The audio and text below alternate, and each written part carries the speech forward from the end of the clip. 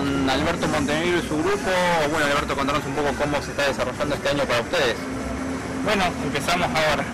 Después de estar, estuve parado un tiempo, bueno, arrancamos ahora y estamos empezando a trabajar bien, gracias a Dios, con el proyecto de grabar un nuevo disco el año que viene.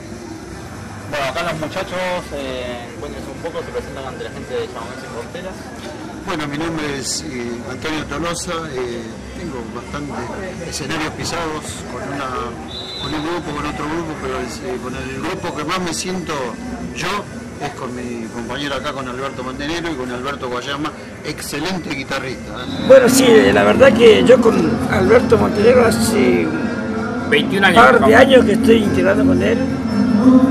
La verdad que me siento muy cómodo integrando con él, a pesar de que yo integro otro conjunto, tengo grabaciones con otros grupos.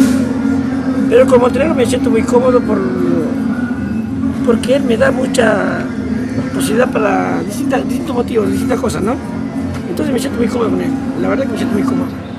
Bueno, acá tenemos otro integrante más de Este Alberto nuevito. Montenegro y su grupo, nuevito me dice Alberto. Contanos un poco hace cuánto estás y bueno, tu nombre obviamente.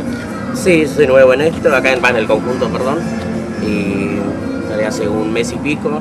Y bueno, estamos eh, llevando esto todo adelante para que todo salga lo, lo mejor, de la mejor manera posible.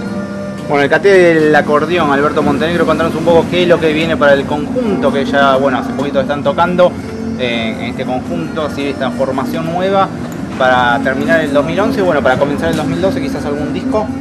Y mira, eh, antes del 2012 voy a grabar un, disco en vivo para un amigo, un muchacho como Juan amigo José Romero, que me apoya, me dice seguir la música, vos tenés que seguir, tenés que estar, que Tomás Guzmán, el 4 de diciembre vamos a hacer una grabación en vivo que te vamos a llegar acá Romero, que Romero también quiere que haga grabación en vivo.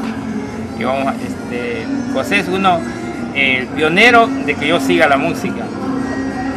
El Chamamé Sin Frontera, hemos trabajado con distintos, distintos rubros, ¿no? Muchas cosas y estaba compartiendo con este hombre.